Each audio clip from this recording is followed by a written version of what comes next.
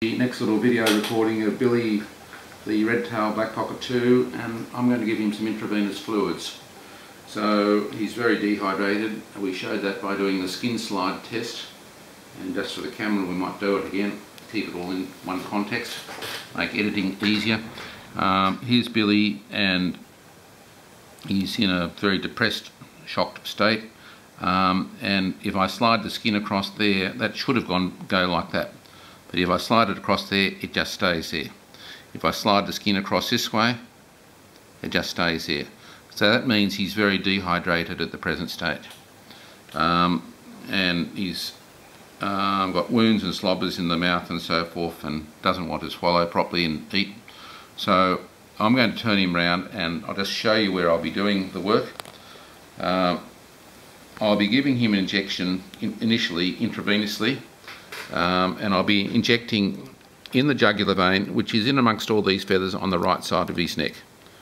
So we will just wet his skin with some Hibiclens and we're going to start looking for that. Because he's in such a, a poor state he's um, I normally do this in a towel. Right I found where there's a gap of, gap in the feathers here. I haven't plucked feathers here. I've been looking for the little window.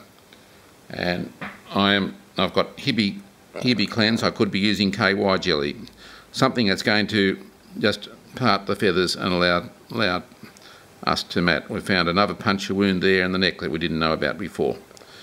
So I'm now going to wrap him up in a towel because I like to have him fully restrained when I'm doing this procedure and we'll go from there. So here we go.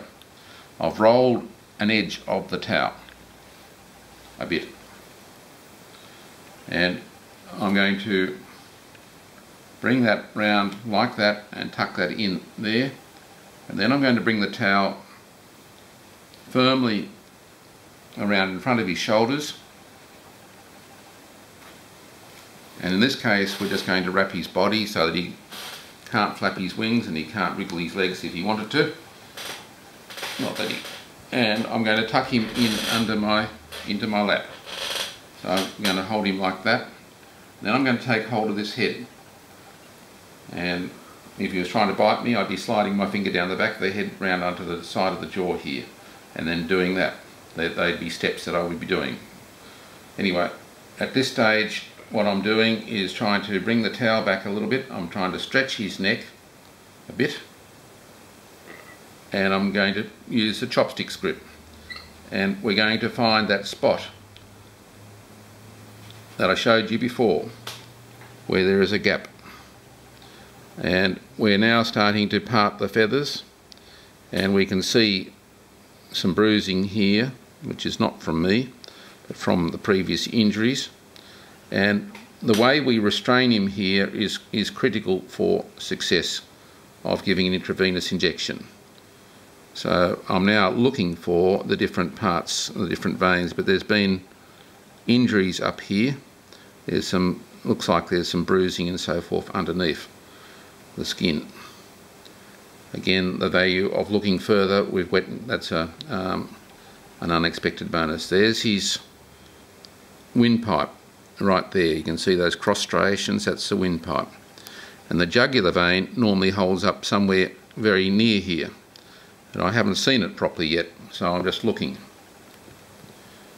I wasn't expecting this to be difficult um, that I'm been experiencing difficult find, difficulty finding the jugular.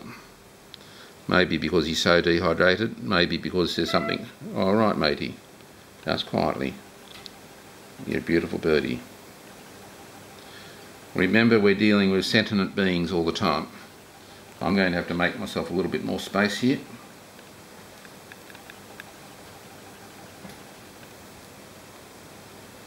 Anyway, what I know.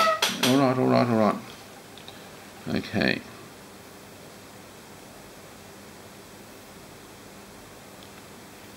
Hmm.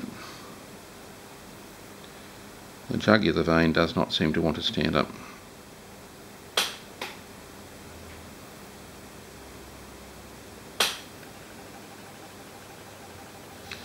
Okay.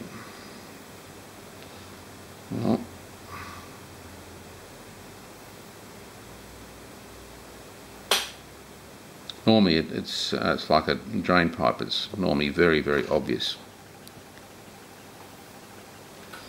Okay, well we'll just try it fade step two.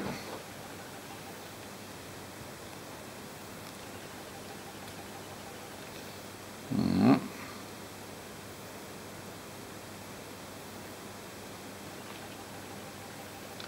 Hey matey.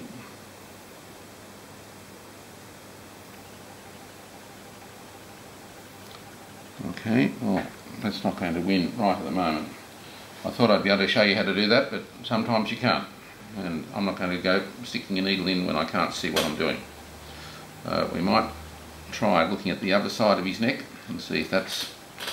And I'll put some Hibiclens. I just have a bottle of Hibiclens, which I just squirt there like that. In the great majority of birds, you give um, intravenous injections in their right side of neck. In this case, we're going to have a look at the left side of his neck and wet that down and just see if a jugular vein, the left jugular vein comes up. Wetting it and parting the feathers makes the job a bit easier, usually. This birdie's not being the usual easy case. And again, I'm not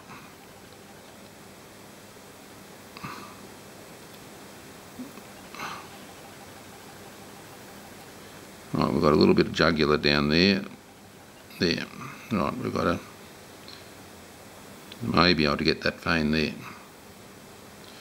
We'll try that. Wrong needle.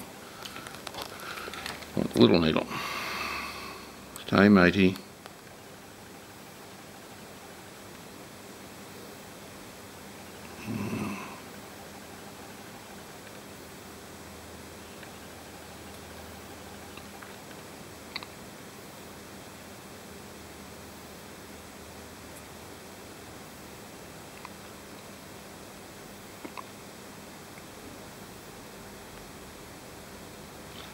That's in, take my finger off. Right, I'm now giving him what's known as a bolus injection.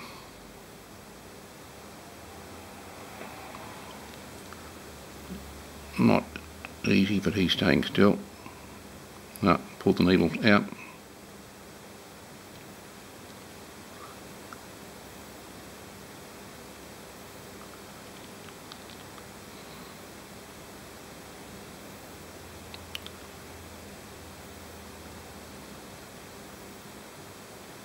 Right, needle's just gone out of the vein, so it's just starting to swell the vein outside around the vein. So we've got 8 mils of the 10 mils intravenously. Right. Okay. That might let us get the other jugular up in a moment when that's had time to to uh, get round. Hey, is that better? That better? Good boy. Good boy.